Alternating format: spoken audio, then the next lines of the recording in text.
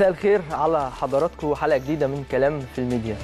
النهارده حلقة آه، مهمة قوي قوي كالعادة دايما بيكون عندنا أخبار مختلفة عالميا ومحليا وبالتحديد أخبار النادي الأهلي والاستعداد كمان لمباراه غاية في الأهمية غدا أمام آه، فريق آه، بيراميدز في دور ال 16 من بطولة كأس مصر. إن شاء الله النادي الأهلي يكون موفق في هذه المباراة لكن في الحقيقة عندنا كلام كتير قوي قوي عايزين نتكلم فيه وتعليق أكتر وأكتر. عايزين نعلق عليه بالتحديد في الأخبار اللي على الساحة الرياضية بشكل عام وبالتحديد اللي بيخص النادي الأهلي خلال الساعات اللي فاتت. هيكون عندنا تعليق مهم قوي بس نروح نشوف أهم وأبرز العناوين يلا بينا.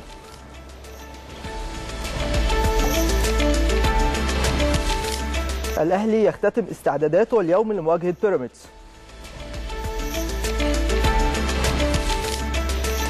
الأهلي يعسكر اليوم في الإسكندرية والشناوي جاهز للمواجهة.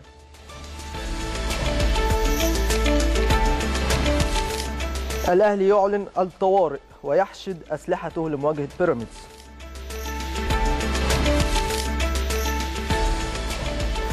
لاسارتي يحفز اللاعبين خطة الفوز على بيراميدز ومهام خاصة للمدافعين. جهاد جريشة حكما لمباراة الأهلي وبيراميدز.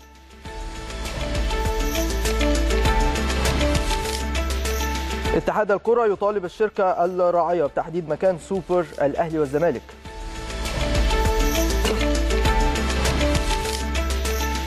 منتخب ناشئي اليد يواجه البرتغال غدا في نصف نهائي كأس العالم.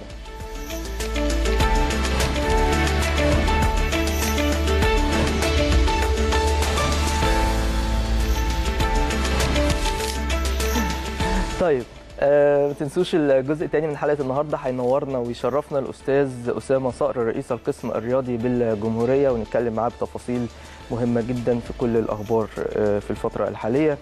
سؤال حلقة اليوم ما تنسوش تتواصلوا معنا على صفحات قناة الأهلي المختلفة فيسبوك تويتر وإنستجرام وتوقعاتك لمباراة الأهلي وبيراميدز غدا. يا رب يا رب إن شاء الله النادي الأهلي يكون موفق في هذه المواجهة الصعبة. طبعا هي مواجهة آه، صعبة جدا فريق قوي. فريق بيراميدز لكن انت أيضا فريق أقوى. وان شاء الله بإذن الله تقدر تفوز في هذه المباراة. قبل ما نتكلم بتفاصيل على مباراة الأهلي وبيراميدز. موضوع مهم قوي في الحقيقة. الواحد علق عليه كتير جدا وحضراتكم كلكم أكيد تابعتوا آه، كل الكلام ده. بيقول لك إيه؟ آه إيميليانو آه دياز عمل follow لصفحة الأهلي الرسمية. خبر. موقع كبير موقع كبير أنا بحترمه جدا في الحقيقة يعني من المواقع المميزة.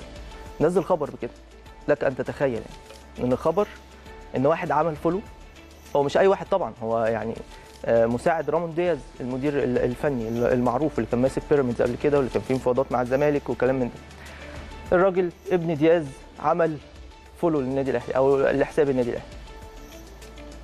الدنيا قامت. الدنيا قامت. قال لك إيه؟ ده الأهلي بيفاوض رامون دياز. وما معنى كده إن الراجل ده عمل follow يبقى خلاص كده آه، رامون دياز هيجي. وإن الأهلي مترقب مباراة الفريق مع بيراميدز. ولو الأهلي خسر ال- الإدارة هتمشي لاسارتي على طول وتجيب رامون دياز وكلام من ده. وبعدين قال لك إيه؟ محدث. رامون دياز نفسه عمل follow للنادي الأهلي. طب إيه المشكلة يعني؟ يا جماعة النادي الأهلي كبير عادي جدا أي حد يعمل follow للنادي الأهلي أو يتابع حسابات النادي الأهلي على ال social media عادي جدا يعني. يعني أنا عايز أسأل سؤال.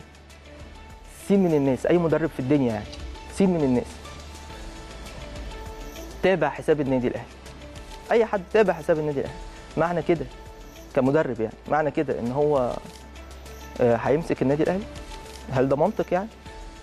يعني لو جوارديولا مثلا أو مورينيو عملوا فولو آه، لحساب النادي الأهلي. آه، كده هم هيجوا يمسكوا النادي الأهلي كده يبقى النادي الأهلي بيفوضهم كلام غير منطقي اطلاقا. طب الهدف من الكلام ده إيه؟ قبل مباراة مهمة زي مباراة بكرة مع بيراميدز في بطولة مهمة تحدي خاص جدا. الكلام ده يطلع. الهدف منه إيه؟ الهدف منه إن أنت تاثر شوية. تحاول تهز الفريق تهز الجهاز الفني تضايق اللاعبين. مش تضايق اللاعبين يعني تشتت تفكيرهم. اللي هو آه، إيه ده إحنا لو خسرنا النهارده ممكن مدرب تاني آه، يجي. فأنا مش مركز كده في الماتش قوي المفروض أو المطلوب من جمهور النادي الأهلي العظيم والواعي جدا جدا لكل هذه الأمور إن إحنا ما ننجرش وراء هذه الأخبار أو وراء هذه الأمور الصغيرة. لأن لما تنجر الحاجات دي أو تفكر في الكلام من ده أو تتداول هذه الأخبار وتتكلم فيها كتير وبعض يقول لك آه ماشي يا ريت والبعض يقول لك طب إزاي؟ و... ما كل ده هيأثر على الفريق. مش حاجة يعني مش سبق في الحقيقة يعني. إن رامون دياز عمل follow أو ابنه إيميليانو آه، دياز عمل follow للنادي الأهلي. مش مش حاجة قوية حصلت يعني. عادي أي حد يعمل موضوع غريب جدا بالنسبة لنا في الحقيقة يعني. لكن الأهم الأهم واللي بنأكد عليه ولازم نأكد عليه مستر مارتين لاسارتي المدير الفني للنادي الأهلي مستقر جدا مع الفريق ومكمل مشواره مع النادي الأهلي ومكمل أهدافه وتحدياته. هتقول لي إيه ده؟ يعني عمر ما رامون دياز ممكن يجي النادي الأهلي؟ ممكن في يوم من الأيام تلاقي عادي. مدرب مطروح اسمه مدرب كويس بالمناسبة. و... واسمه بيتداول دايما آه، في أي نادي بيرغب في التعاقد مع مدربين يعني سواء هنا في مصر أو في السعودية أو في أي حتة في الدول العربية يعني. اسمه متداول. لكن مش مش حقيقي خالص الكلام ده. مش معنى كده إن الناس دي جاية تمسك النادي الأهلي لا خالص خالص. الإدارة مقتنعة تماما تماما بمستر مارتين لاسارتي والراجل مكمل مشواره مع النادي الأهلي. طيب الواحد ممكن يقول لك إيه؟ هل ممكن كده إن النادي الأهلي بيتربص بمستر لاسارتي ومترقب نتيجته في مباراة بيراميدز؟ اطلاقا. خالص. وارد طبعا أنت لو خسرت بطولة هيبقى في كلام. يعني مش من الإدارة قصدي هيبقى كلام من الناس بيتكلموا. إيه ده؟ طب الراجل خسر طب ليه ما نغيروش؟ طب ليه الكلام؟ الطبيعي الطبيعي في الكرة المصرية. الكرة المصرية بس على فكرة. لأن أوروبا عندك لامبرت خسر خسر أربعة من مانشستر يونايتد ومكمل. يعني في مشروع ماشيين من خلاله. النادي الأهلي ماشي من, مش... من خلال مشروع آه ليه. المشروع بيتمثل في إيه؟ طبعا الفوز بكل البطولات واهم هذه البطولات بطولة دوري أبطال أفريقيا.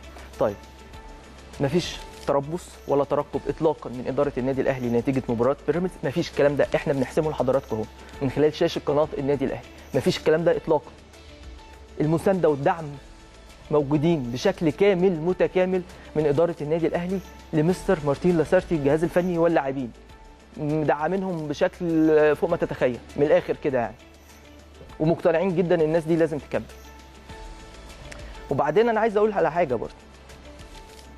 لو كان في تفكير إن أنا كمثلا مجلس إدارة النادي الأهلي مثلا مثلا حد من مجلس إدارة النادي الأهلي مثلا يفكر يقول لك إيه؟ طب ما هو لو خسر الماتش ده ممكن نغيره.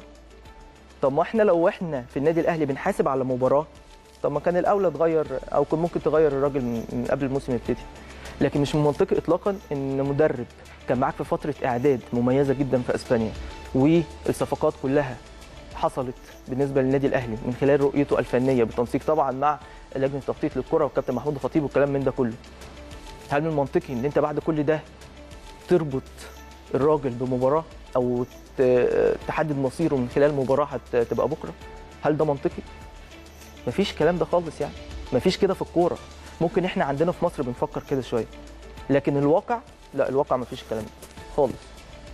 الراجل مكمل مسيرته مع النادي الأهلي إن شاء الله بإذن الله بإذن الله. ما أعتقدش إن أي أهلاوي مثلا ممكن ما يكونش حابب لاسارتي. على فكرة أي مدير فني هتلاقي اللي بيحبوه واللي ما بيحبوهوش. عادي جدا. مش مديرين فنيين بس أي شخصية في الدنيا.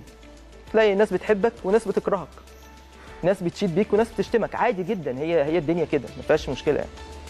لكن آه، هل ده معناه ان إن ممكن النادي الأهلي يكون رابط مصير مستر مارتين لاسارتي بمباراه مش ده النادي الأهلي. مش دي سياسة النادي الأهلي خالص. فبالتالي أخبار كلها في الحقيقة مع احترامنا لكل اللي كاتبها واللي اهتم بيها قوي كده بصراحة أخبار ملهاش قيمة كبيرة. ما تفرقش في حاجة. ومش هتقلل من معنويات اللاعبين ولا الجهاز الفني. اطلاقا. الكل مركز. جهاز فني. لاعبين مركزين في هذه المباراة. الجماهير. أكيد بتدعم النادي الأهلي. ما أعتقدش إن في أي واحد من جمهور النادي الأهلي يقول لك إيه آه طب الأهلي يخسر بقى المباراة دي عشان نخلص من, من المدير الفني مفيش الكلام ده يعني. أكيد كل واحد من جمهور النادي الأهلي عايز الأهلي يكسب بكرة. وبإذن الله الأهلي هيكسب بكرة. إن شاء الله بإذن الله واحد أحد الأهلي هيفوز في مباراة بيراميدز.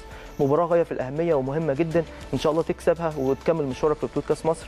من أهدافك المهمة إن أنت تفوز بالثنائية السنة دي وبعد كده بطولة دوري أبطال أفريقيا والبطولات الجديدة المحلية يعني. فبالتالي موضوع محسوب. مستر مارتين لاسارتي مكمل مسيرته مع النادي الأهلي. ومع مش معنى إن أي حد عمل متابعة لحساب نادي عظيم وكبير جدا زي النادي الأهلي يبقى إن هو جاي آه، في النادي الأهلي. آه، مش هيبقى مثلا يعني لو لاعب مثلا عمل فولو للنادي الأهلي كده هنجيبه؟ مش منطق خالص. فإحنا حبينا بس نرد على هذه الأخبار وحبينا نعرف حضراتكم التفكير ماشي إزاي وحبينا نقول لحضراتكم إن لازم يكون في مؤازرة ودعم بشكل كامل لفريق النادي الأهلي في مباراة الغد ونركز التشكيل هيبقى إيه؟ اللعيبة هيعملوا إيه؟ إن شاء الله المدير الفني يكون كويس يقرأ المباراه كويس كل ده اللي إحنا منتظرينه بإذن الله من النادي الأهلي آه، بكرة. ما تلتفتوش اطلاقا لمثل هذه الأخبار. جزئية كانت آه، مهمة في الحقيقة. لكن لما نيجي نتكلم بقى على المباراة فنيا مش إحنا اللي هنتكلم فنيا لكن إحنا بنقول المعطيات اللي قبل المباريات دايما. مباراة تقيلة قوية جدا من أقوى الفرقتين في مصر دلوقتي. آه بيراميدز فريق قوي. جاب لعيبة كويسة جدا. آه استغنى عن البعض آه، المميز لكن أيضا جاب من لعيبة من أحسن لعيبة في مصر. عندك جون أنتوي جابه عندك إسلام عيسى لعيب مميز جدا جابه من مصري. آه، عندك عدد كبير تواجد عبد الله السعيد تواجد مين تاني؟ إيريك تراوري ما شاء الله عليه. إيريك تراوري ده لعيب آه، ما شاء الله عليه. عندك دونجا لعيب دولي. عندك علي جبر لعيب دولي. أحمد أيمن منصور أحمد الشناوي. لا فرقة كاملة فرقة متكاملة. بكار رجب بكار. لا فرقة كويسة جدا. فالمباراة قوية. الاستعداد ليها قوي جدا. آه، مهم قوي إن أنت تتخطى عقبة بيراميدز. إن شاء الله الموضوع ملوش علاقة بصق- بصقر ولا حاجة. إن أنت بتسقر من بيراميدز. لا هي مباراة كرة قدم. مطلوب منك دايما كنادي أهلي إنك تكسب أي مباراة. هو ده المطلوب. مفيش طلبات أخرى. اكسب. إن شاء الله بإذن الله النادي الأهلي يكون موفق في آه، مباراة الغد استعدادات مستمرة للنادي الأهلي. النهارده تدريبات. بالنسبة للفريق آه، وبعديها مباشرة التدريب ابتدى الساعة 5 بالتحديد بعد ما يخلص المران إن شاء الله مباشرة. النادي الأهلي الفريق كله هيتوجه للمعسكر الخاص آه، بالنادي الأهلي في مدينة برج العرب بمقر آه، هناك مقر الإقامة الخاص بالنادي الأهلي. وتستعد 24 ساعة لهذه المباراة. أكيد هيكون في قائمة هيتم الإعلان عنها بعد انتهاء المران اليوم. الأمور ماشية كلها بشكل جيد. عندك بعض اللاعبين بيعودوا آه، مميزين جدا. محمد الشناوي بيعود وليد سليمان بيعود. حتى لو وليد ممكن ما يشتركش أساسي لسه مش عارفين برضه كلها أمور متروكة للجهاز الفني. لكن أيضا محمد الشناوي إضافة آه، قوية. عودتهم مؤثرة لكن هي مؤثرة بشكل إيجابي طبعا. بس لو هم مش جاهزين 100% النادي الأهلي مش هيتأثر. لأن النادي الأهلي عنده قائمه كاملة جدا من ال- اللاعبين المميزين في الحقيقة. أي حد يقدر يقوم بدور أي لاعب آخر يعني. فإن شاء الله كل التوفيق للنادي الأهلي في آه، مباراة بكرة أمام بيراميدز وتكون خطوة جديدة في مشوار كأس مصر بإذن الله. عايزين طبعا نبارك لمنتخب الناشئين لكرة اليد فوزوا امبارح على أيسلندا وتأهلوا لدور نصف النهائي من بطولة كأس العالم. وهيقابل البرتغال بكرة إن شاء الله في مباراة قوية جدا. نتمنى إن هم يوصلوا آه، للنهائي. هم في الحقيقة حتى الآن عملوا إنجاز كبير جدا زي منتخب ال- الشباب اللي خد البرونزية في كأس العالم. إن شاء الله منتخب الناشئين نتمنى له جدا جدا إن هو يفوز بالبطولة كمان. ليه لأ؟ عندنا إمكانيات. وفي الحقيقة عايزين نشيد كل الاشاده بالاتحاد المصري لكرة اليد. الناس بتشتغل بيشتغلوا عندهم خريطة معينة ماشيين من خلالها. عارفين بيعملوا إيه؟ آه الأساس القاعدة الناشئين والشباب دول اللي هيبنوا الفريق أو المنتخب الأول لمصر كرة اليد اللي هيشارك في كأس العالم اللي هتكون عندنا هنا في مصر في 2021 فالواضح إن في خطة معينة ماشيين آه، من خلالها بشكل مميز جدا. فكل التحية والتقدير للاتحاد المصري لكرة اليد وكل التحية والتقدير لمنتخب الشباب اللي فاز خلاص بالبرونزية إنجاز كبير. وكل التمنيات لمنتخب الناشئين بإذن الله إن هو يجيب لنا الميدالية الذهبية. كمان لو جاب البرونزية أو الفضية أو طلع الرابع لا قدر الله يعني برضه إنجاز. يعني بنشكرهم آه، شكرا آه، جزيلا. طيب. عندنا تعليق كتير جدا على الأخبار. بالتالي خلينا نروح نشوف أهم الأخبار اللي اتكتبت على النادي الأهلي في الصحف. يلا بينا.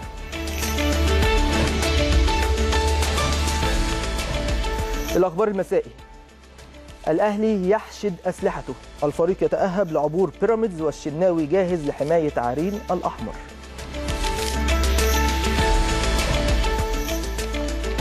المسا الأهلي يعلن الطوارئ لموقعة آه، بيراميدز. الخطيب يحضر المران الأخير لتحفيز اللاعبين على الفوز. لاسارتي ركز في تدريباته على الكرات العرضية واهتمام خاص بأزار. الخطيب يحفز اللاعبين بالمكافآت لحصد الثنائية. الأهلي يحشد القوة الضاربة لموقعة بيراميدز ويؤكد جاهزية معلول وربيعة الجمهورية. الأهلي جاهز لبيراميدز وقيد محمود. اليوم السابع. لاسارتي يحفز لاعبي الأهلي خطة الثأر من بيراميدز في الكأس. فيفا والجبلية ينعشان الخزينة الحمراء ب 2 مليون جنيه ودراسة عروض باسم وهشام ومارسيلو الأهرام. فحوصات طبية لمؤمن زكريا في ألمانيا والاعتزال يطارده. معسكر سكندري للأهلي استعدادا لبيراميدز وتحفظ على تعديل عقد الشناوي. هنعلق عليه ده. الدستور. الأهلي يعسكر بالأسكندرية استعدادا لمواجهة بيراميدز وتكاليف آه، آه، أو تكليف رباع الدفاع بإيقاف أنطوي وعبد الله السعيد الشروق أحمد فتحي يستفسر من لاسارتي عن أسباب عدم مشاركته مع الأهلي. اللاعب مستاء من الاستبعاد ويدرس الرحيل في يناير والجهاز الفني يستقر على قيد ندفيد وسعد. هنعلق برضه على الخبر ده. روزل يوسف. الأهلي وبيراميدز صراع البشوات. طيب في الحقيقة أخبار كلها يعني معظمها عشان نكون منطقيين يعني مش حقيقية ولازم هنعلق عليها. بس قبل ما نعلق على هذه الأخبار خلينا سريعا نشوف أخبار النادي الأهلي إيه وتدريب الفريق الأخير قبل السفر للاسكندريه فبالتالي ناخد على الهاتف زميلنا العزيز آه، شريف شعبان مراسل قناة الأهلي. يا شريف مساء الخير عليك. شكرا عليك زميل أمير تحياتي ليك وتحياتي لكل مشاهدي قناه النادي الاهلي في كل مكان وكل سنه وأنت طيب.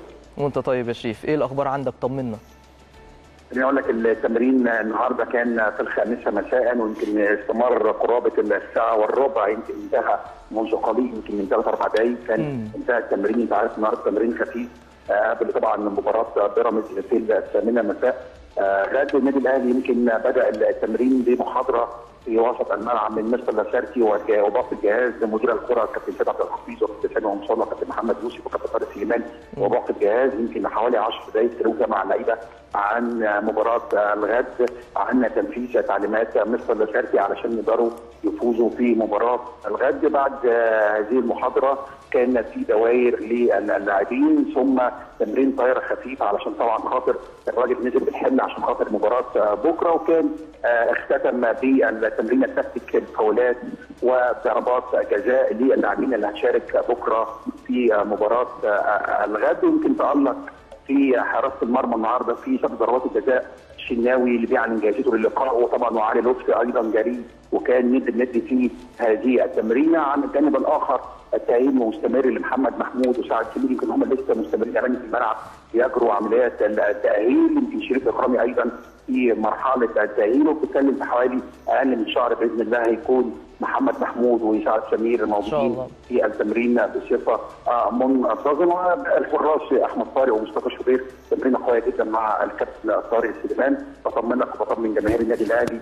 مستر شركي وباقي الجهاز مش سايبين حاجة للظروف بيتكلموا في كل كبيرة وصغيرة. النهارده في التكتيك في الفاولات في الضربات في الضربات الركنية في ضربات الجزاء. الراجل حارسني يتكلم أول بأول مع لاعبي الفريق علشان بكرة يظهروا بشكل جيد الله. يفوزوا على فريق بيراميدز يعني طيب آه، آه، معنويا طمنا على الفريق معنويا يا شريف قبل مباراه مهمة وحاسمة زي دي آه، مباراة قوية جدا مع بيراميدز فبالتالي بالتالي عايز أطمن على المعنويات شوية وعايز أطمن على حالة بعض اللاعبين أهمهم علي معلول ورامي ربيعة لأن هم كان عندهم اجهاد عضلي خفيف هل هم بيشاركوا في التدريبات الجماعية بشكل كامل؟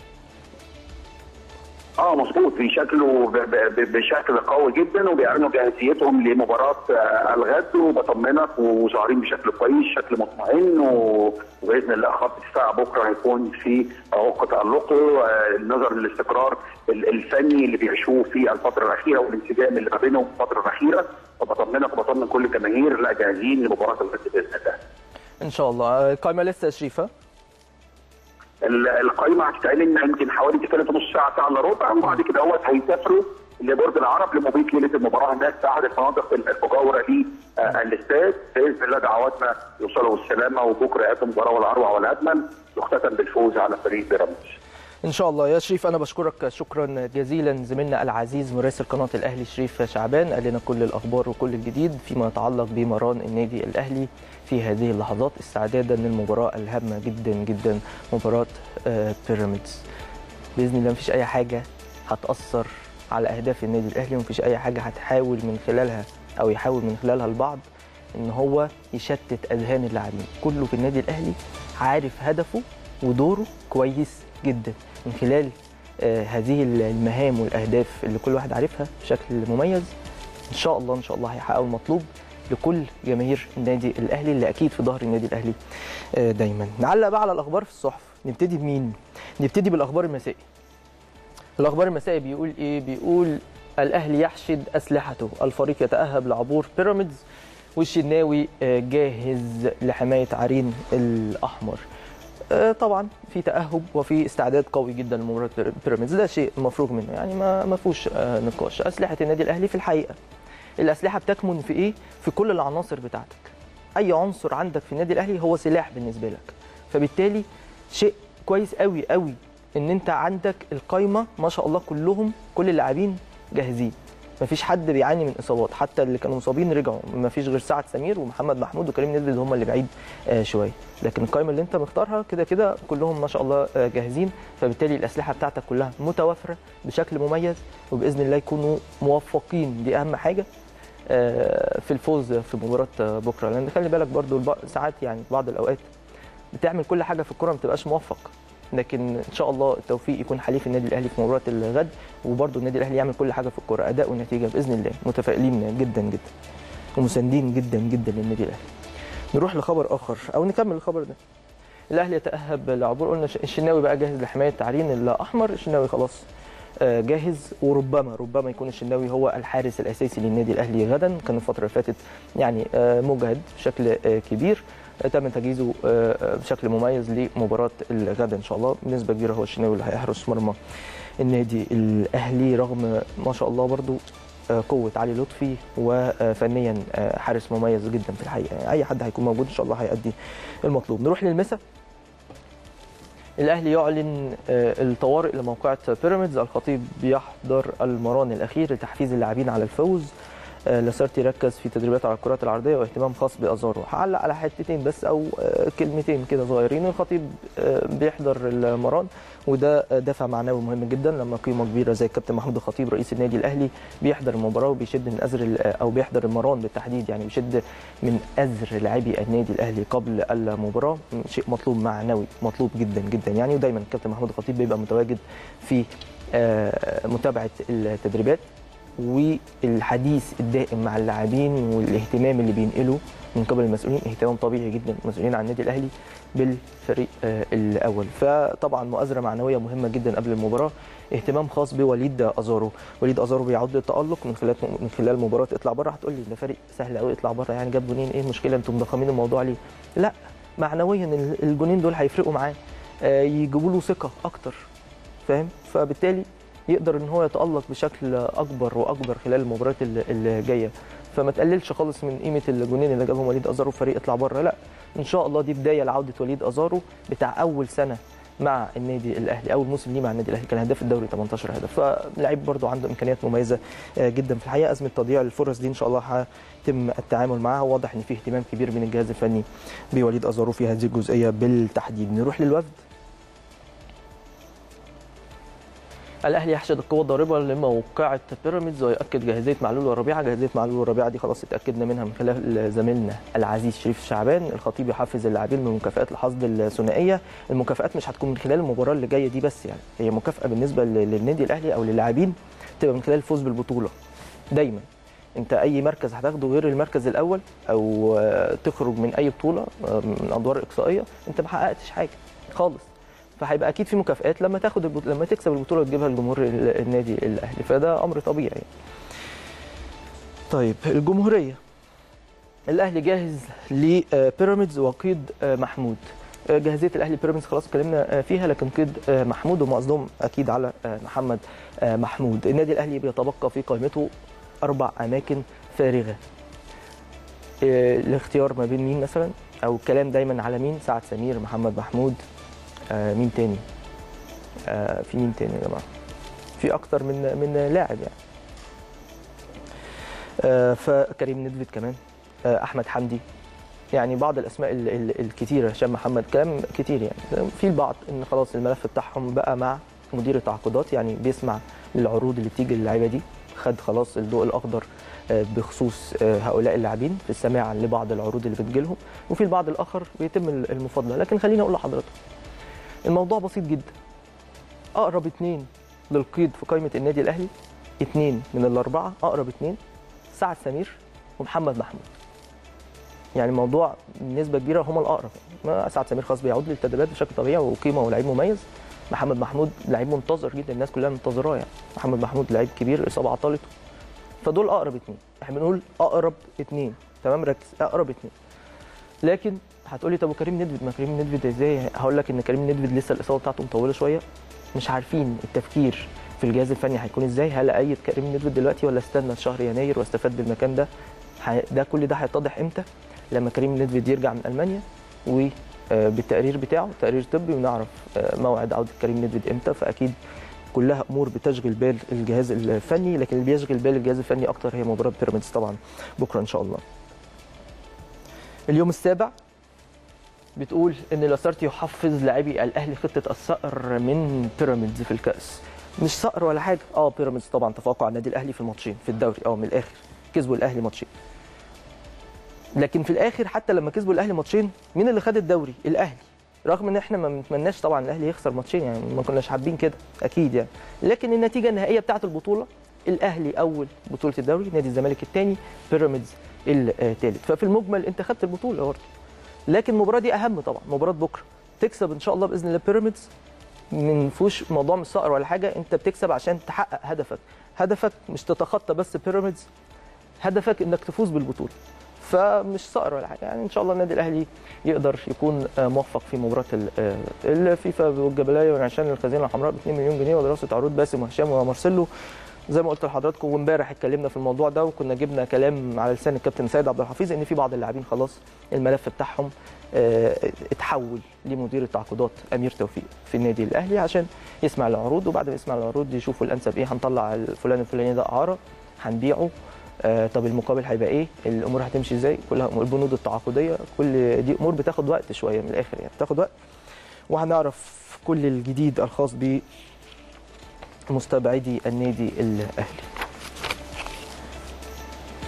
امبارح على فكرة إحنا قلنا أسماء يعني امبارح قلنا آه، ناصر ماهر ملفه مع آه، أمير آه، توفيق وقلنا هشام محمد ولاعب آخر هفتكره مع حضراتكم دلوقتي.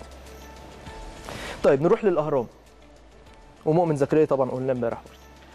الأهرام بقى العنوان ده مهم قوي فحوصات طبية لمؤمن زكريا في ألمانيا والاعتزال يطارده معسكر سكندري الاهلي استعداد لبيراميدز تحفظ على تعديل عقد الشناوي. إحنا موضوع الاستعداد لبيراميدز ده خلاص اتكلمنا فيه كتير لكن هناخد الجزء الأول من العنوان.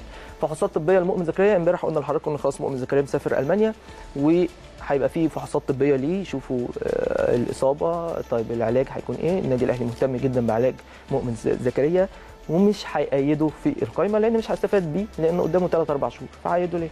فبالتالي مع ذلك المؤمن هيسافر ألمانيا ونعرف حالته بالظبط هتكون آه، عبارة عن إيه والأمور هتمشي آه، إزاي. الاعتزال يطارده ده يعني أنت بتهبط من معنويات اللاعب. مؤمن زكريا قيمة كبيرة ولاعيب كبير آه، مع النادي الأهلي وجاب ألقاب للفريق وأهداف كتيرة للفريق.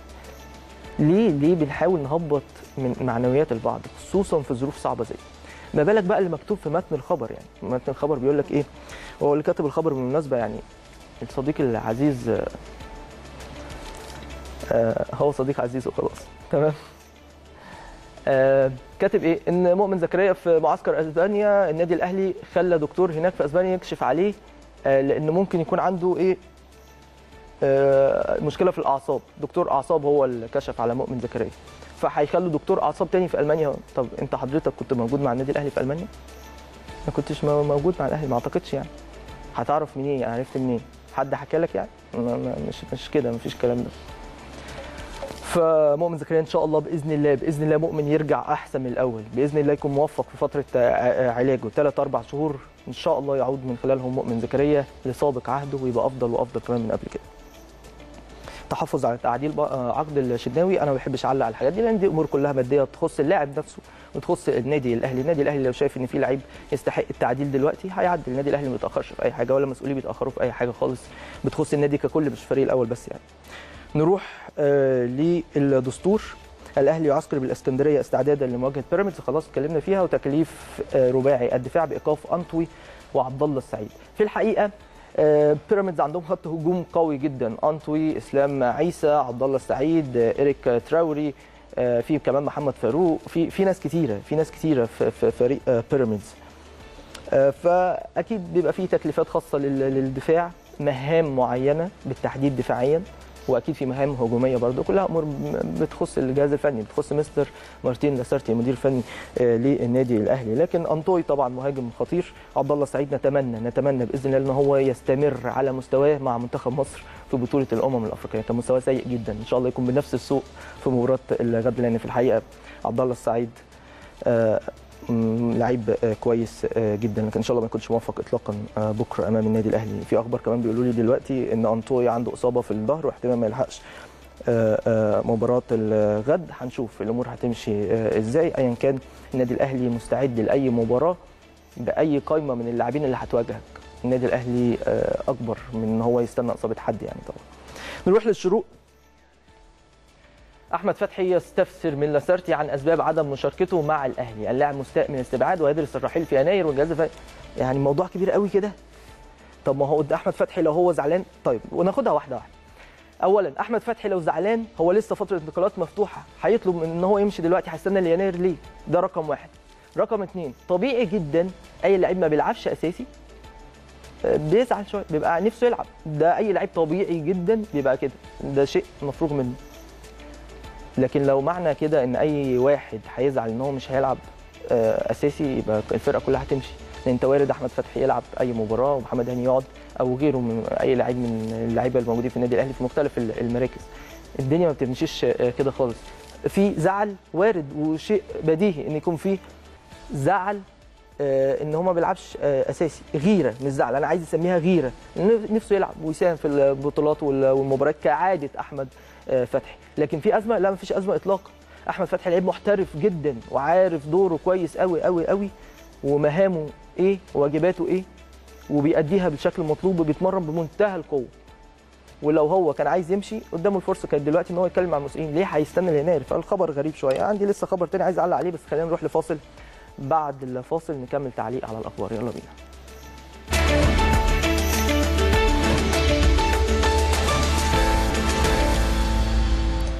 نكمل آه، الأخبار على النادي الأهلي في الصحف. وصلنا للشروق وموضوع أحمد فتحي إن الموضوع مش مش بالصورة اللي مكتوب بيها الخبر يعني في الحقيقة. ما فيش أصلا قصة يعني. آه، طبيعي إن أحمد فتحي يكون زعلان عادي إن هو ما بيلعبش.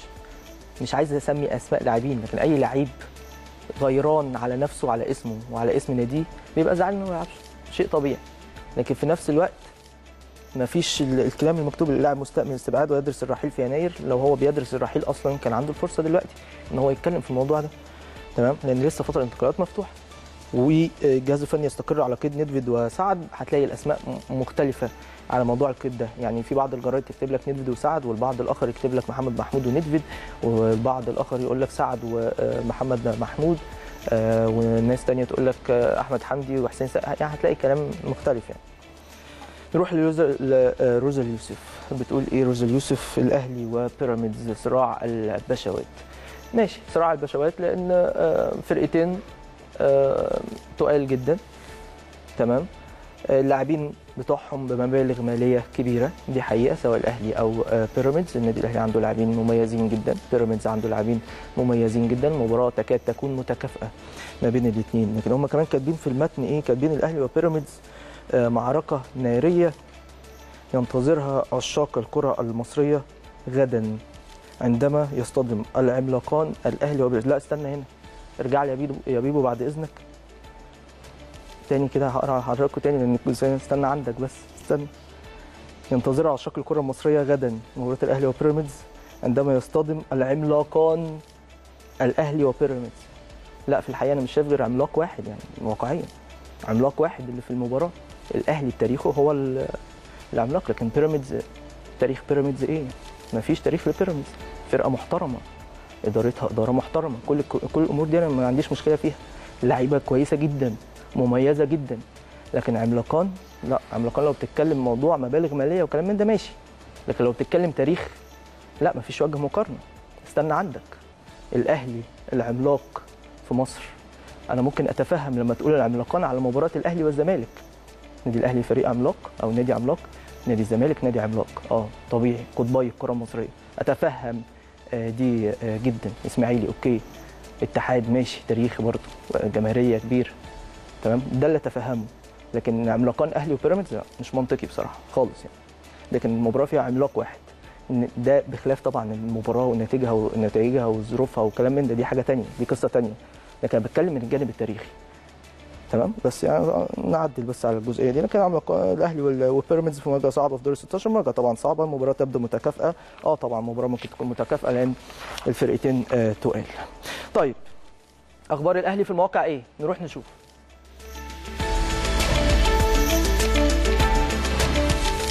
اليوم السابع الأهلي يتجه إلى الإسكندرية اليوم لخوض مباراة بيراميدز في الكأس. فيتو. الأهلي يختتم استعداداته اليوم لمواجهة بيراميدز. الشروق عثمان رفضنا طلب بيراميدز بتعيين حكم أجنبي لمباراة الأهلي. يلا كورة جهاد جريشة حكما لمباراة الأهلي وبيراميدز.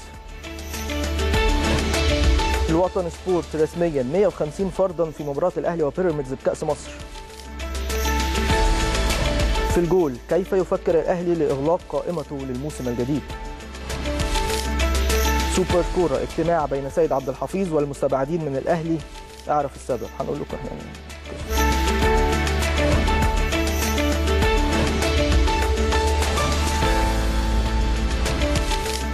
هعلق بشكل سريع جدا عشان ألحق اخد طبعا ضيفي العزيز أستاذ أسامة صقر. اليوم السابع الأهلي يتجه إلى اسكندرية. لخوض مباراة بيراميدز في الكأس. زي ما حضراتكم متابعين كده معانا من أول حلقه إن شاء الله الفريق هيخلص وعارفين طبعا متأكدين الاهلي هيخلص تمرينه يسافر إن شاء الله على اسكندرية في مقر الإقامة آه، في برج العرب عشان يستعد بشكل آه، نهائي آه، من خلال محاضرات بقى لأن خلاص فيش تمرين الماتش بكرة على طول محاضرات متتالية من الجهاز الفني للاعبين تعريف اللاعبين واجباتهم وكل المطالبين به في هذه المباراة. المطلوب آه، يعني بالنسبة لنا ظاهريا إن الأهلي ياخد الكأس كله مش يكسب المباراة دي بس. تمام؟ لكن في واجبات أكيد فنية وتكتيكية وخططية في الملعب دي بتخص الجهاز الفني. هروح للشروق. الشروق بتقول إيه؟ آه عثمان رفضنا طلب بيراميدز بتعيين حكم أجنبي لمباراة الأهلي. كابتن سمير محمود عثمان طبعا آه رئيس لجنة الحكام الجديد. من- بيقول من خلال جريدة أو موقع الشروق إن جالهم طلب من بيراميدز إن يجيبوا حكام أجانب وهو رفض. آه، لأن هو أكيد عنده خطط معينة إن لازم نطور من الحكام المصريين ونتفادى ما حدث الموسم المنقضي بالتحديد في بطولة الدوري بجلب العديد والعديد من الحكام الأجانب وكان شيء في الحقيقة مؤسف يعني بيأثر بشكل كبير على مستوى التحكيم فنيا ونفسيا كمان على الحكام نفسهم يعني. فممكن تكون خطوة مميزة في الحقيقة من كابتن سمير محمود عثمان برفض هذا الطلب من بيراميدز. هو أضرب شغله يعني. نروح ليلا كورة. بالتالي بقى جهاد جريشه هو حكم مباراة الأهلي وبيراميدز وده من خلال إعلان لجنة الحكام على آه، طاقم التحكيم. خليني أقول لكم آه، طاقم التحكيم مين كابتن جهاد جريشة آه، حكم ساحة. هيعاونوا كل من هاني عبد الفتاح مساعد آه، أول. يوسف البساطي مساعد ثاني صبحي العمراوي آه، حكما رابعا. طارق سامي حكم إضافي أول. محمود ناجي حكم إضافي ثاني ده, طاقم التحكيم الخاص بمباراة الغد آه، الأهلي وبيراميدز. نروح للوطن سبورت. رسميا 150 فردا في مباراة الأهلي وبيراميدز بكأس مصر. آه يا جماعة توضيح مهم قوي مش الأهلي اللي بيحدد عدد الجماهير ولا بيراميدز اللي بيحدد عدد الجماهير بهذه المباراة. اللي بيحدد العدد اتحاد الكرة. المباراة كلها من تنظيم الاتحاد المصري لكرة القدم. هو اللي بيقول لجنة المسابقات برئاسة الحاج عامر حسين هم اللي بيحددوا يقول لك إحنا عايزين عدد أفراد كذا اللي يحضروا هذه المباراة. هم حددوا 150 فرد 75 فرد لكل آه، نادي سواء الأهلي أو بيراميدز. من المسؤولين طبعا آه، كمجلس إدارة أو إدارة تنفيذية هم اللي يحق ليهم الحضور لهذه المباراة. ده توضيح آه، مهم جدا. نروح لفي الجول. كيف يفكر الأهلي؟ لإغلاق قائمته للموسم الجديد. اتكلمنا في الموضوع ده إن في أربع أماكن متبقيين في عدد من الأسماء آه، قدامك بتختار ما بينهم. وقلنا لحضراتكم الاقرب مين؟ سعد و آه، محمد محمود. هم الأقرب لحد دلوقتي لكن لسه مفيش قرار رسمي اتاخد لكن أنا بتكلم من المعطيات. اثنين خلاص قربوا يجهزوا قربوا يخشوا تدريبات جماعية. ف واثنين طبعا لاعبين تقال. فأعتقد هم الأقرب. نيدفيد لسه موضوع بالنسبة له موضوع الإصابة هيروح ألمانيا. أنا بس بعيد لحضراتكم الكلام تاني عشان نوضح بشكل مفصل كل هذه التساؤلات السوبر كوره برضو ده كلام مهم. اجتماع آه، بين سيد عبد الحفيظ والمستبعدين من الأهلي أعرف السبب. كابتن سيد عبد الحفيظ مش مختص اطلاقا ب آه، الاجتماع مع المستبعدين. هو أكيد بي- بيتكلم مثلا مع مع البعض. لكن الملف كله وإحنا قلنا لحضراتكم امبارح إن الملف اتنقل خلاص لمين؟ لأمير توفيق مدير إدارة التعاقدات والتسويق بالنادي الأهلي. بيسمع للعروض اللي بتيجي لبعض اللاعبين اللي فنيا دلوقتي النادي الأهلي مش محتاجهم. بيشوف الأنسب مصلحة النادي الأهلي ومصلحة اللاعب لأن النادي الأهلي بيراعي مصلحة اللاعب ده بكل تأكيد وأكيد مصلحته الأول. تمام؟ آه وبعد كده بيبت في العروض. موافقين؟ okay يا سيدي. آه اتفضل اللاعب معاك أهو. المقابل المادي اتفقنا عليه. الإعارة البيع كل دي امور متروكه للجنه التعاقدات. كابتن سيد حفيظ مش مختص خالص بالموضوع ده. كابتن سيد حفيظ قام بدوره بالتنسيق ما بين مستر لاسارتي ولجنة التعاقدات. مستر لاسارتي قال أنا عايز فلان الفلاني ده موجود آه، فلان الفلاني ده مش موجود. آه، أو طلعوا لي إعارة عايزه ياخد خبرات مثلا. فكابتن حفيظ نقل الملف خلاص لامير توفيق يعني. فهنشوف. بالمناسبة اللعيب الآخر كمان محمد شريف يعني بالمناسبة ده من ضمن اللاعبين اللي خلاص آه، القصة بتاعته مع أمير آه، توفيق. وكلهم في الحقيقة لاعبين مميزين جدا لكن النادي الأهلي مش هيقدر يقيد 40 50 لعيب في قائمته يعني. طبيعي دي سنة الحياة إن البعض بيرحل والبعض بيجي والبعض بيستمر. والأهم في الآخر مصلحة النادي الأهلي إن شاء الله آه، يكون موفق في كل التحديات في الموسم الجديد. طيب دي كانت أهم أخبار النادي الأهلي في الصحف، عندنا أخبار محلية وأخبار عالمية بس هاخدها مع ضيفي العزيز أستاذ بينورني ويشرفني الأستاذ أسامة صقر الناقد الرياضي الكبير يا أستاذ أسامة منورنا ومشرفنا دايما. ربنا يخليك ويا رب كده بعد العيد كل سنة والأسرة الإسلامية كلها بخير والمنطقة العربية وبلدنا الطيبة مصر بخير بإذن الله. يا رب يا رب دايما إن شاء الله. عندنا أخبار كتير جدا هنتكلم فيها سواء محليا أو عالميا وكمان أخبار النادي الأهلي. قبل ما نستفيض في هذا الحديث خلينا نروح نستعرض أهم الأخبار المحلية والعالمية. يلا بينا. بوابة فيتو المدير الفني الجديد للفراعنة ينفرد باختيار جهازه معاون. بوابة الوفد شوقي غريب يدرس ضم طاهر لمعسكر المنتخب الأولمبي في سبتمبر. اليوم السابع اتحاد الكرة يطالب الشركة الراعية بتحديد مكان سوبر الأهلي والزمالك. الوطن سبورت اتحاد الكرة يناقش مع الأمن عودة الجماهير لملاعب الدوري. سوبر كورة سمير عثمان يعقد اجتماع آه، لقيادات الحكام القدامى والحاليين لبحث تطوير التحكيم. بوابة المصري اليوم. المنتخب الوطني للناشئين يلتقي غدا نظيره البرتغالي في نصف نهائي بطولة العالم لليد. اليوم السابع 300 دولار لكل لاعب مكافأة آه، ناشئي اليد بعد التأهل للمربع الذهبي. بوابة الشروق كلوب عن أداء صلاح أمام تشيلسي لا يصدق. كورة طلب سان جيرمان يبعد نيمار عن برشلونة. سبورت 360 ممنوع التصوير مع لاعبي اليونايتد داخل سياراتهم أس عربي رسميا فشل مفاوضات بين فلامينجو وبالوتيلي. جول لوكاكو البوندسليجا من أمتع دوريات مستنيين تواصل حضراتكم آه، معانا على صفحات قناه الأهلي المختلفة على ال social media فيسبوك تويتر إنستجرام توقعاتك لمباراة الأهلي مع بيراميدز بكرة في دور 16 من بطولة كأس آه، مصر. أستاذ أسامة نبتدي بالأخبار المحلية. من بوابه فيتو بالتحديد بيتكلموا على المدير الفني الجديد لمنتخب مصر وهذا الملف الشائك والحديث فيه كتير آه، جدا. وبيقولوا إن المدير الفني هينفرد باختيارات الجهاز المعاون آه، ليه تعليق حضرتك على الملف ده بالتحديد.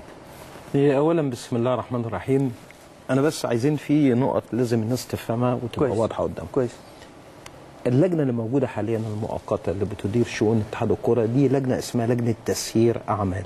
تمام. يا جماعة لازم نفهم بالراحة. لجنة تسيير أعمال مش من حقها تتخذ القرارات الحاسمة والمؤثرة في الكرة المصرية. بمعنى اتحاد الكرة بينتظر زيه زي اللجنة الأولمبية زي وزارة الشباب وده الكلام ده أنا بقوله على مسؤوليتي ومتأكد منه بنسبة مليون في المية. مستنيين قرار الفيفا. كويس. أول ما يصدر قرار الفيفا ويحدد مسار اتحاد الكرة في الفترة المقبلة سواء بالسلب أو بالإيجاب بمعنى إن هو يوافق على تشكيل لجنة زي اتحاد الكرة الطايرة زي اتحاد الجمباز. سواء يقول لهم اعملوا انتخابات مجلس آه، جمعية عمومية لاتحاد الكوره عشان تقدروا تاخدوا القرارات الرسمية والسليمة. بس الأقرب هيكون في لجنة صح؟ أنا أتمنى ذلك آه. لأن وزارة الشباب والرياضة واللجنة الأولمبية في خلاف بسيط حول هذا الأمر. تمام. مين اللي هيشكل اللجنة؟ وإيه هي اللجنة وإيه شروط اللجنة؟ يعني أنا دلوقتي عندي المدير التنفيذي اللي هو العميد ثروت السويدي لازم يتحط في التورتاية اللي الجديدة سواء بإجراء انتخابات سواء بتشكيل لجنة أو المدير التنفيذي يقوم برئاسة لجنة مؤقتة لإدارة وتسيير أعمال اتحاد الكورة. تمام. أنت داخل على فترة صعبة جدا من مباريات ودية عايز تشكل أجهزة فنية. حتى اللجان اللي هو عملها عايز أقول لك فيها مشكلة كبيرة. لازم تاخد الشرعية الكاملة. والشرعية الكاملة هنا تبقى من خلال الجمعية العمومية. أنا أتمنى إن الاتحاد الدولي الفيفا يبعت القرار بدري ويوافق على تشكيل لجنه اللجنة دي لابد أن يكون فيها المدير التنفيذي لاتحاد. الكورة والمدير المالي لاتحاد الكورة وأشكل البقية. من خلال لجنة واحسن بقى الملفات المختلفة وانتهي من الأمر صح. إنما اللي بصحى اللي أنا بصحى وأنام عليه مدير فني مش هتقدر تعمل مدير فني ولا تعلن عن مدير فني حاليا إلا ما اعرف راسي من رجلي طيب. هنعلق هنعلق على الجزئية دي بس خليني سريعا أستأذن حضرتك. ناخد مداخلة مهمة جدا مع زميلنا العزيز آه، شريف شعبان مراسل قناة الأهلي عشان يقول لنا القائمة الخاصة بالفريق لمباراة الغد. يا شريف آه، أهلا بيك من جديد. عايزين نعرف آخر الأخبار عندك إيه وفيما يتعلق بقائمة النادي الأهلي لمباراة بيراميدز غدا اتفضل. بجد تحيه طبعا زميل أمير والنقد الرياضي الكبير الاستاذ أسامة. آه النقد الرياضي الكبير طبعا ولكل مشاهدي قناة الأهلي في كل مكان. خليني أقول لك إن الأهلي اعلن منذ قليل القائمة ال 21 لاعب المسافرين إلى برج العرب مبيت ليلة مباراة طبعا آه، بيراميدز في الثامنه مساء غد. يمكن الأهلي هيتحرك كمان ربع ساعة من نادي الأهلي في الجزيرة متجه على طول إلى آه، برج العرب بإذن الله يوصلوا بالسلامة. خليني أقول لك قائمة ال 21 في حراسة المرمى ثلاث حراس. تمام. محمد الشناوي مم. علي لطفي تمام. مصطفى شوبير. تمام. رامي ربيعة. ربيعة. ياسر إبراهيم. ياسر. أيمن أشرف. أيمن أشرف. علي معلول. تمام. أحمد فتحي. حمدي فتحي. تمام. صالح جمعة. السوليه السوليه حسام عاشور. محمد هاني. حسين الشحات. رمضان صبحي أحمد الشيخ جيلاردو. اجاييه أزارو صلاح محسن والوافد الجديد قفشه قفشه دي. قائمة ال 21 لاعب اللي بيركبوا حامل الاتوبيس أمامي علشان هيغادروا بعد قليل إلى برج العرب لمباراة طائره بيراميدز اللي يتمنى بإذن الله يكون الفوز من نصيب النادي الأهلي غدا بإذن الله. إن شاء الله بإذن الله. بشكرك يا شريف. شكرا جزيلا. خليني أعيد على حضراتكم قائمة النادي الأهلي المكونة من 21 لاعبا استعدادا لمباراة بيراميدز غدا إن شاء الله في دور ال 16 من بطولة كأس آه، مصر. ال 21 لاعب مين؟ محمد الشناوي علي آه، لطفي مصطفى شوبير في حراسة المرمى آه، رامي ربيعة ياسر إبراهيم أيمن أشرف علي معلول أحمد فتحي في خط الدفاع. في نص الملعب حمدي فتحي صالح آه، جمعة عمرو السولية حسام عاشور محمد هاني حسين الشحات رمضان صبحي أحمد الشيخ آه، جيرالدو وأجاييه وفي خط الهجوم أزارو وصلاح محسن والوافد الجديد آه، محمد مجدي قفشه في قائمة ال 21 آه، لهذه المباراة مباراة الغد إن شاء الله المرتقبة. وارد إن قفشه يكون موجود أساسي على الدكة خارج القائمة دي كلها أمور تخص الجهاز الفني لكن هو الصفقة الجديدة الوحيدة يا أستاذ أسامة اللي موجودة في قائمة النادي الأهلي غدا. تعليقك على القائمة الأول قبل ما نكمل أخبارنا المحلية. لا طبعا القائمة دي منطقية للغاية. منطقية كويس. آه وخاصة إن كل اللي لعبوا في مباراة آه، اطلع بره الأخيرة هم اللي متواجدين في نفس. القائمة. مم. وإذا كان هيحدث تعديل مثلا في حراسة المرمى بوجود الشناوي مكان علي لطفي أو ممكن يلعب بعلي لطفي يعني سيان هي يعني شايف إن الاختيارات منطقية وسليمة لأن دي هي المجموعة المتجانسة المتألقة في الفترة الحالية مع النادي الأهلي. كويس. أنا شايف الاختيارات سليمة وكويسة جدا وحاسس إن الراجل دوت ابتدى فكره يزيد. يزيد. آه من إمكانيات النادي الأهلي.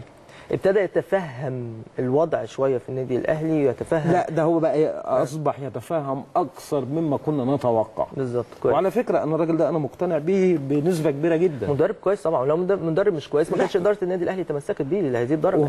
مدرب. هي إدارة النادي الأهلي يا جماعة اللي إحنا بنتكلم عليها دي دي إدارة واعية جدا. بالظبط. اداره وعلى فكرة من أحد أسباب فوز الأهلي ببطولة الدوري كانت إدارة النادي الأهلي. أكيد. مش تقول لي لعيبة مش تقول لي جهاز فني مش تقول لي سياسة تدوير الإصابات.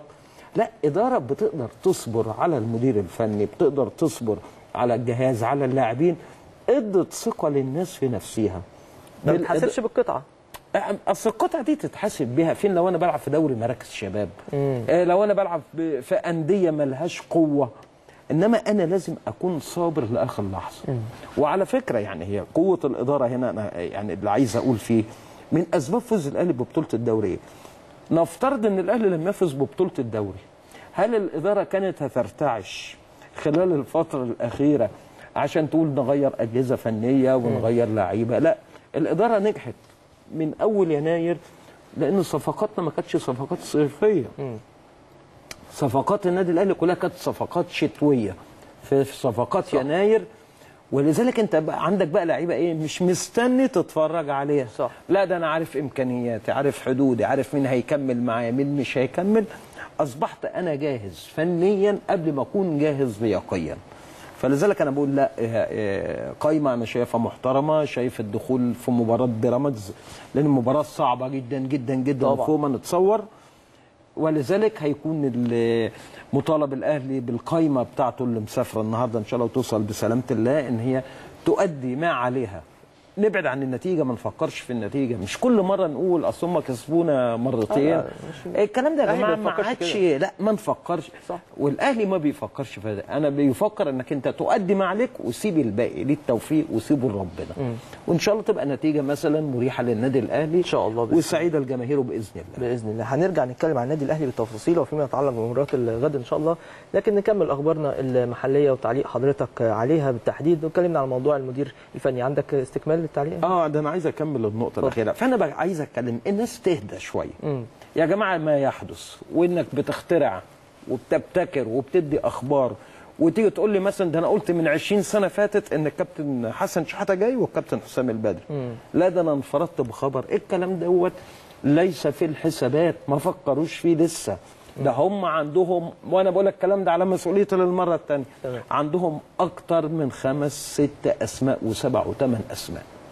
بيفكروا. طبعا وطنيين. آه. أنا عايز أقول لك هي لما رئيس الجمهورية اتكلم وقال لك نعتمد على المدرب الوطني هو كان يعني هو الكلام مقصود بيه إن أنت هات المدرب الوطني مثلا في كل الألعاب. لا طبعا. طب أنا عندي ألعاب محتاجة مثلا خبير أجنبي. أنت شايف الطفرة بتاعت كرة اليد؟ ما شاء الله منتخب الشباب نجح فيها؟ ومنتخب الناشئين بغض النظر عن بقية النتائج. نجح. نجحوا. لا ده بقى النجاح انت اللي عايز تتكلم عليه أكتر. إن بقت عندك قاعدة.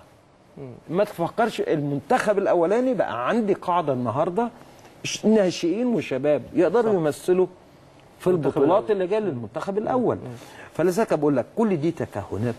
زي ما في تكهنات بتشكيل لجنة في تكهنات بأجهزة فنية. بس آه يعني نقدر نقول إن النسبة محصورة بين ثلاث مدربين. هيجي واحد منهم.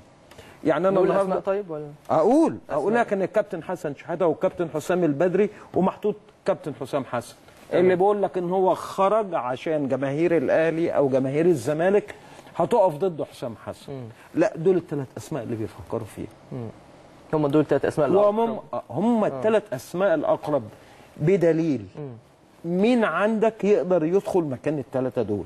مع احترامنا الكامل لكل المدربين. عندنا في كابتن جلال كويس جدا. طبعاً، طبعاً. عندك كابتن عماد النحاس كويس جدا. كابتن طلعت يوسف. عندك كابتن طلعت يوسف. قبليهم هم الاثنين كويس كابتن جدا. العشري.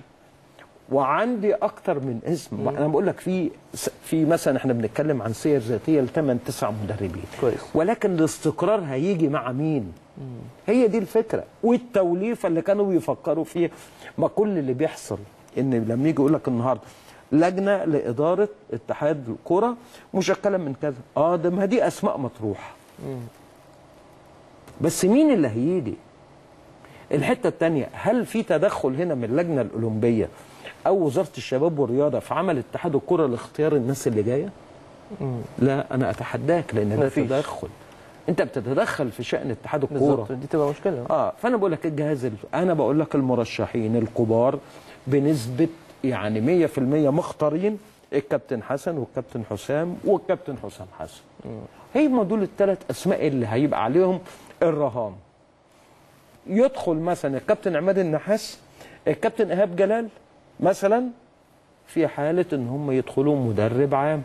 امم إنما الاختيارات اللي أنت بتسمعها كده دي وليس لها أي أساس من الصحة لأن مين ياخد القرار؟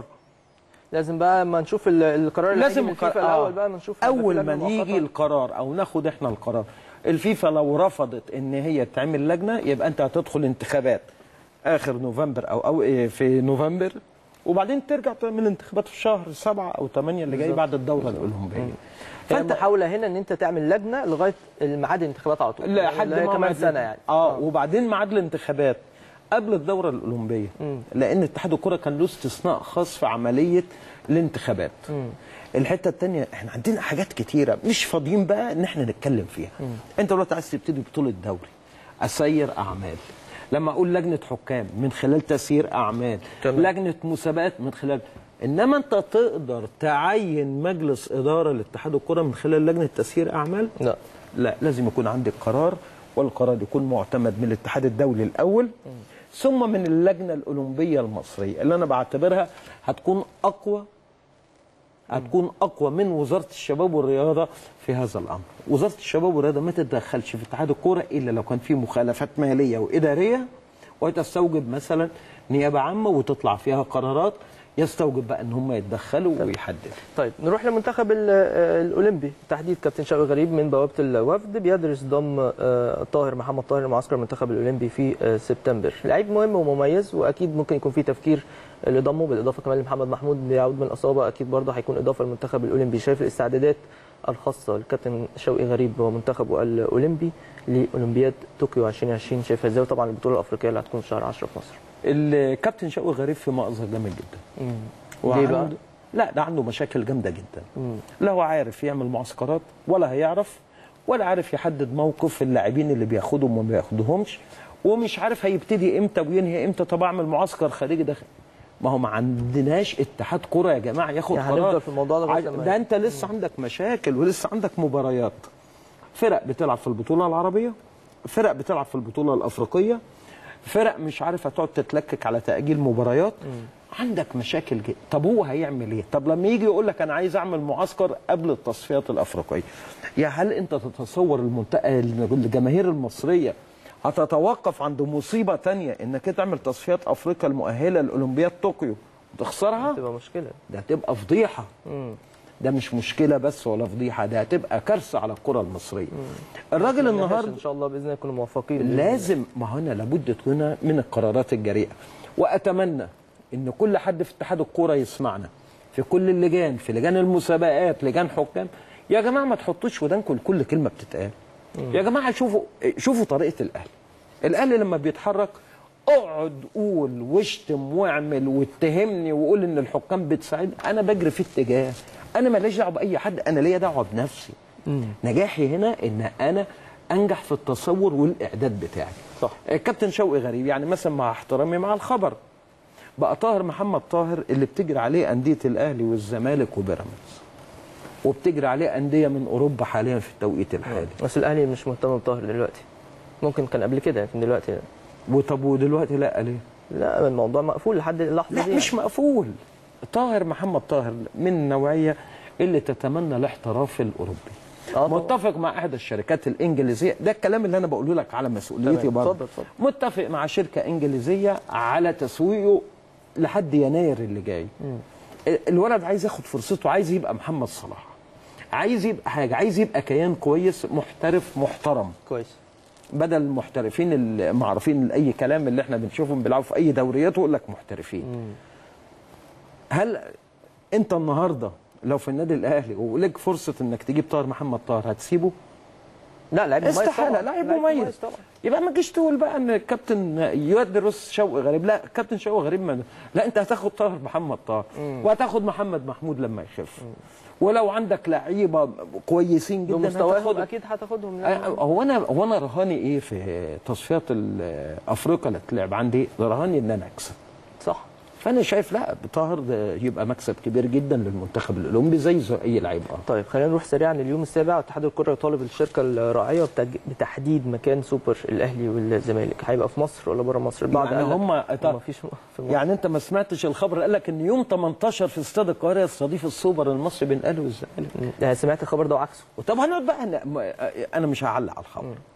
مش هتعلق سوبر يوم 18 قبل بداية الدوري بيوم وقلت إنه على ملعب استاد القاهرة والدوري يشتغل على استاد القاهرة بس بعد كده طلعوا تصريح إن الاستاد القاهرة مش هيستضيف مباراة السوبر آه، في اتجاه إن مباراة السوبر تبقى بره. أنت النهارده من كم الأخبار اللي بتسمعها أنت يعني قادر تصدق الخبر ده ولا تكذب طب؟ إحنا عايزين نوضح ع- ع- معلومة حضرتك إيه أنا السوبر ال- المصري خلي بالك كان دايما لازم يعملوا السوبر المصري بين الأهلي والزمالك. حتى الأهلي كسب الدوري يبقى الزمالك يكسب الكاس. الزمالك كسب الدوري الأهلي لازم يكسب الكاس. لأن معنى إن الأهلي والزمالك يلعبوا سوبر مصري معنى إن في انتعاشه اقتصادية كبيرة جدا. في مكاسب مالية كبيرة جدا. ألعبوا في الإمارات بقى ألعبوا في بس السعوديه يعني خليني أقول لحضرتك على حاجة برضه. لأن في نفس الوقت ما هو الأهلي لعب المصري في في السوبر.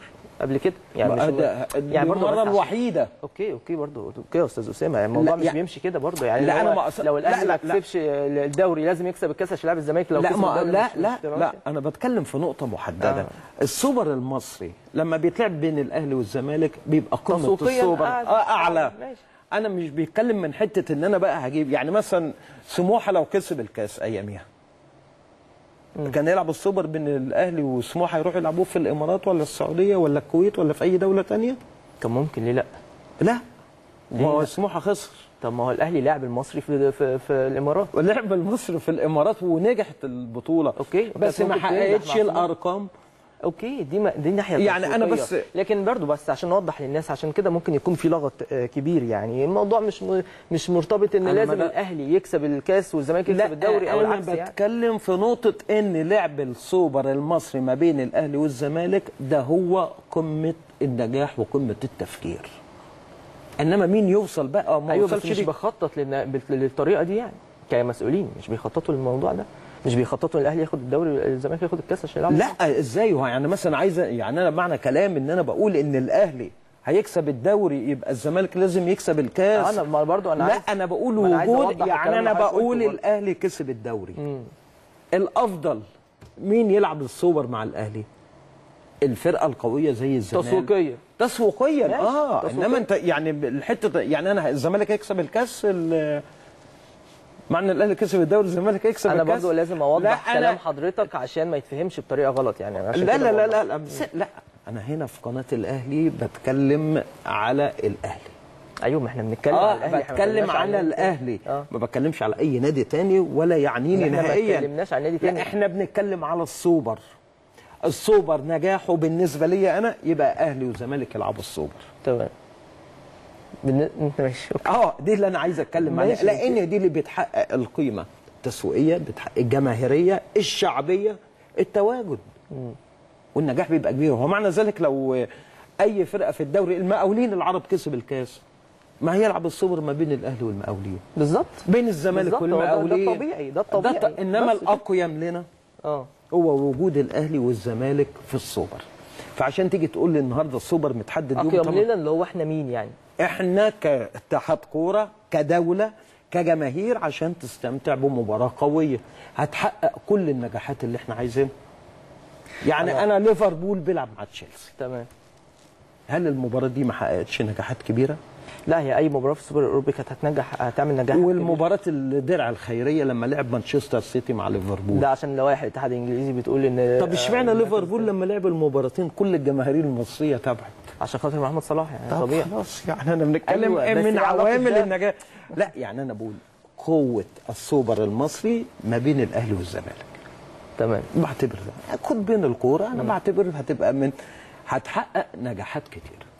أمتع يعني من وجهة نظرك أهلي طبعاً متعة- okay، متعة. okay آه. ماشي نتفق على الحتة دي لكن لازم في نفس الوقت عليها، لكن. في نفس الوقت أي نادي يحق له إن هو ياخد الدوري أي نادي يحق له إن هو ياخد الكاس وأي حد ياخد البطولتين يلعب في السوبر الموضوع مش مرتبط خاص بأهلي طبعاً. والزمالك يعني آه. ده شيء طبيعي ومفروض يعني أنا أتمنى مثلا السوبر يلعبوا. مثلا أي ناديين غير الأهلي والزمالك هيحقق النجاح لا تسويقيا مش شرط طبعا يحقق نفس النجاح إحنا ما بنتكلمش إلا تسويقيا. في تمام. مصر ما بنتكلمش إلا تسويقيا. فنيا ما نتكلمش في الفنيات آه.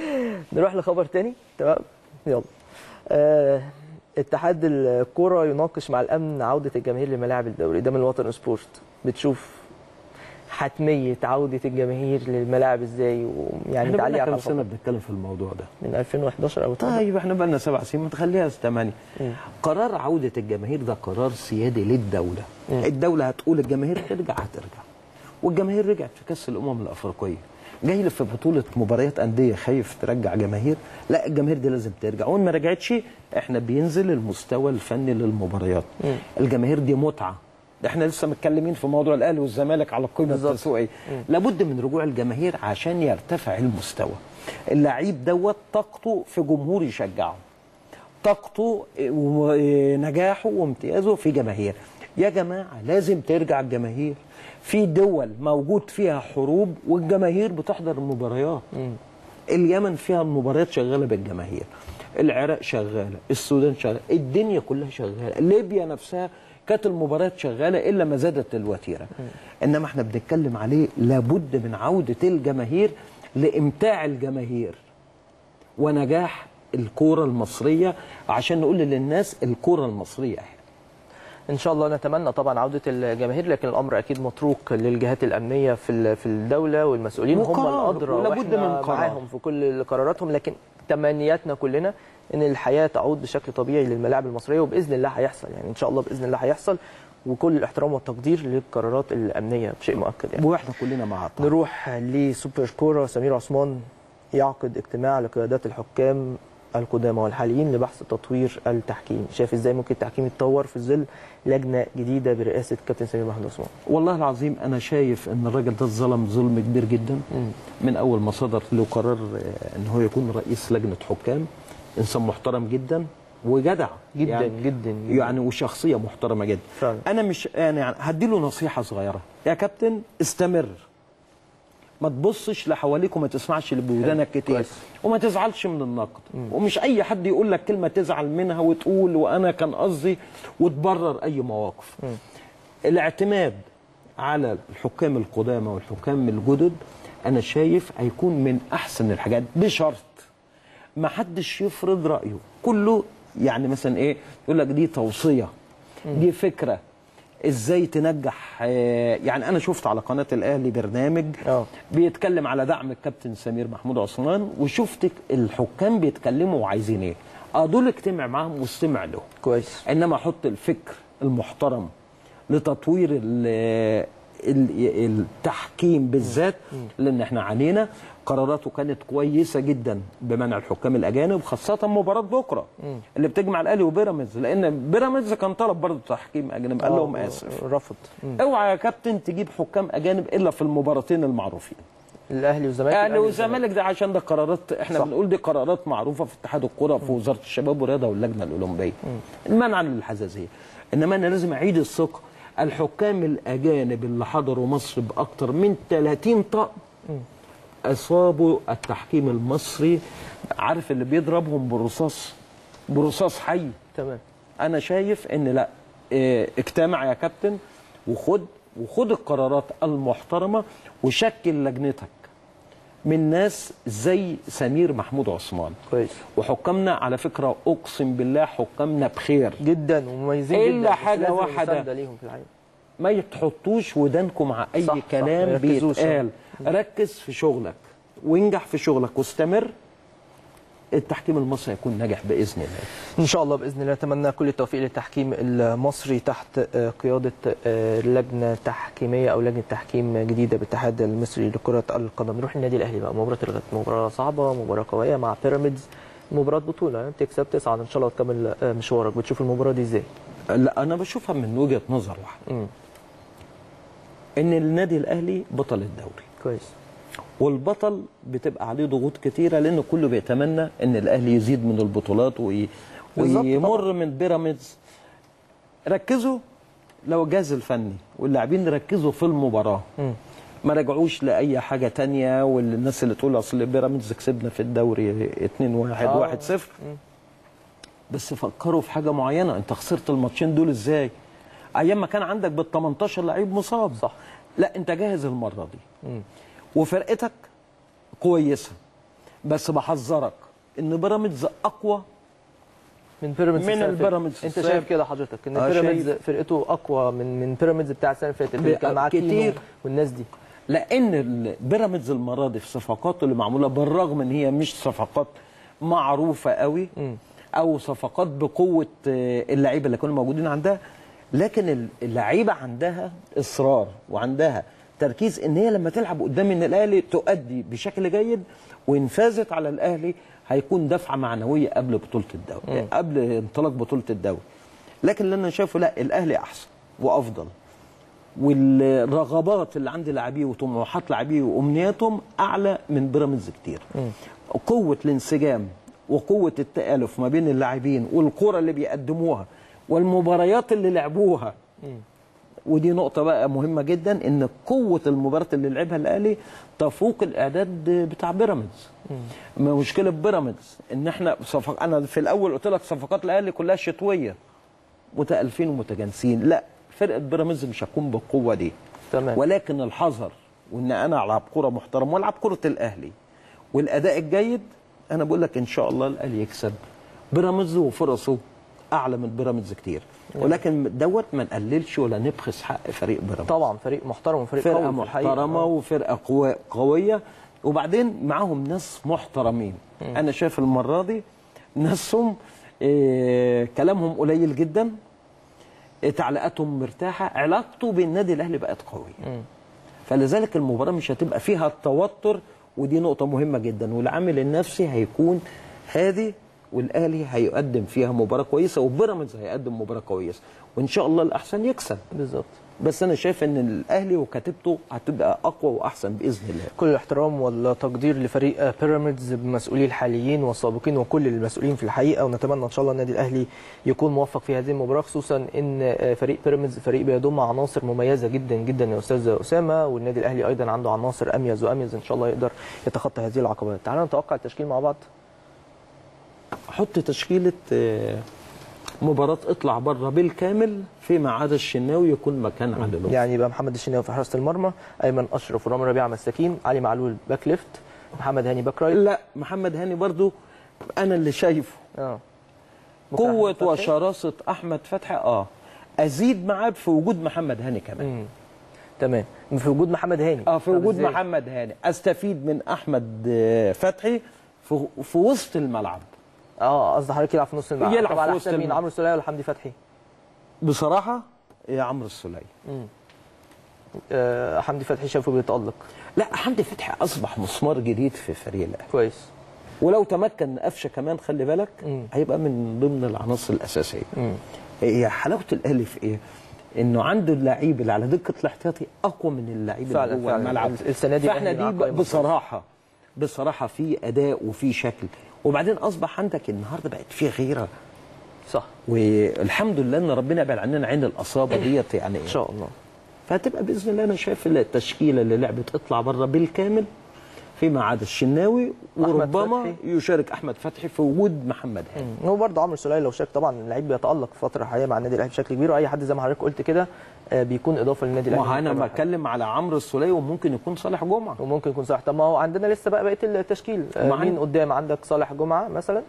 آه وليد سليمان مش موجود في القائمه وليد سليمان مش موجود في القائمه صالح جمعة؟ آه. حسين الشحات؟ أنا بتكلم. مع ورم... لا رمضان بص رمضان حسين الشحات اظهروا دول هيكون مجموعة أحسن. تمام تمام. مكان صالح جمعة مين بقى؟ ما أنا قلت صالح جمعة لو ما لعبش يكون أحمد فتحي لو السوليه ما لعبش يكون أحمد فتحي مم. يبقى نفس التشكيلة في الحدود اللي إحنا بنتكلم فيها. وليد سليمان لو خرج أنا بتكلم آه، وليد مش موجود. وليد سليمان مش موجود لأن آه، مش موجود أنا عارف. إنه عنده إرهاق لسه راجع من الإصابة لسه راجع من الإصابة بقى له ثلاث تدريبات بس بيشارك تقريبا فمش جاهز ما بنسبه هو. كان لعب آه. في مباراة اطلع بره طيب خلينا نعيد بس القائمة على آه، آه، جماهير النادي الأهلي وأكيد هي معروضة أمامكم على الشاشة دلوقتي علي لطفي والشناوي وشوبير ومصطفى شوبير في حراسة المرمى خط الدفاع ربيعة ياسر إبراهيم أيمن أشرف علي معلول أحمد فتحي حمدي فتحي صالح جمعة عمرو السوليه حسام عاشور محمد هاني حسين ال- الشحات رمضان صبحي أحمد الشيخ آه، جيرالدو أجاييه أزارو صلاح محسن ومحمد آه، مجدي آه، قفشه سريعا قبل ما أختم يا أستاذ أسامة عايز أقرأ بس تفاعلات الجماهير الأهلاوية توقعاتهم لمباراة الغدا الغدا إن شاء الله أمام بيراميدز في آه، مصر. نبتدي بفيسبوك. ولاء محمد قالت إن شاء الله الأهلي هيكسب 2-0 محمد أمين قال إن شاء الله الأهلي هيكسب 2-0 ازار ورمضان صبحي. هشام محمود قال الأهلي هيكسب 3-0 آه، هوبا هوبا قال إن شاء الله 3-0 آه، بس مش كاتب اليمين بس إن شاء الله يكون الاهلي هاشم إتش قال 6-1 للأهلي إن شاء الله. ماشي مش هكمل. همسات ال- ال- المطر حد كاتب نفسه كده يعني إن شاء الله 3-0 للنادي الأهلي. نروح لتويتر سريعا. آه، تويتر آه، محمود رضا قال 3-1 للأهلي إن شاء الله. آه، أهلاوي أنا قال إن شاء الله فوز الأهلي 2-0 أبو إيان الأهلاوي. آه، زينب السيد قالت إن شاء الله فوز الأهلي بهدف حسين الشحات وأزارو. آه، يعني بعض التوقعات يعني معظم أكيد بيتوقع فوز النادي الأهلي. دعاء قالت آه، آه، 2-1 للأهلي آه، وإن شاء الله الأهلي يفتتح التسجيل في هذه المباراة. نتمنى كل التوفيق للنادي الأهلي. توقعات حضرتك؟ لا؟ التوقع لا أنا أتمنى. سريعا. أنا أتمنى الأهلي يفوز. تمام. إنما التوقع لا ما أقدرش أقول نتيجة. يعني ال 22 لعيب هم اللي هيحسموا الفوز لأي من الفريق. تمام. أنا بشكرك شكرا جزيلا يا أستاذ أسامة نورتنا وشرفتنا وكنت سعيد بتواجد حضرتك معنا طبعا. الله يخليك أنا متشكر جدا. نشكرك شكرا جزيلا. كان معنا الأستاذ أسامة صقر رئيس القسم الرياضي بالجمهورية واتكلمنا في ملفات محلية كتير وأخبار النادي الأهلي بالتحديد قبل مباراة الغد أمام بيراميدز. إن شاء الله كل التوفيق للنادي الأهلي في هذه المباراة يقدر يتخطى هذه العقبة ويكمل مشواره في بطولة الكاس ويحقق البطولة بإذن الله بطولة منتظرة لكل الجماهير الأهلاوية. إحنا بكرة مش هنكون معاكم إن شاء الله عشان المباراة فبالتالي هيكون في استوديو تحليلي ملعب الأهلي آه، من بداية من الساعة السادسة مساء. فإحنا بكرة إجازة آه، نعود وحلقة جديدة إن شاء الله يوم الأحد القادم نبارك فيها بإذن الله بفوز النادي الأهلي على بيراميدز في بطولة كأس مصر والتاهل لدور الثمانية من هذه البطولة. إلى اللقاء.